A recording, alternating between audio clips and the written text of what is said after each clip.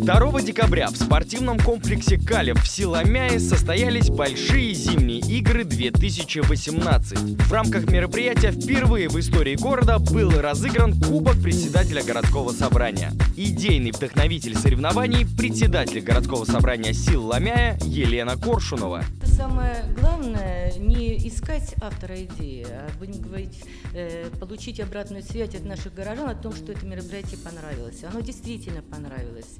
Участвуют родители, участвуют дети, участвуют организации. Это единая команда, городская команда. Вот в эти темные, иногда не очень э, приятные для прогулок дни, это очень хорошо. Вместе с детьми, мамы, папы, как раньше проходили веселые старты.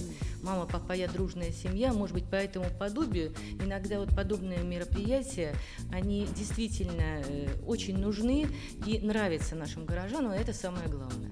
Мероприятие вызвало большой интерес среди горожан. Его посетили свыше тысячи человек.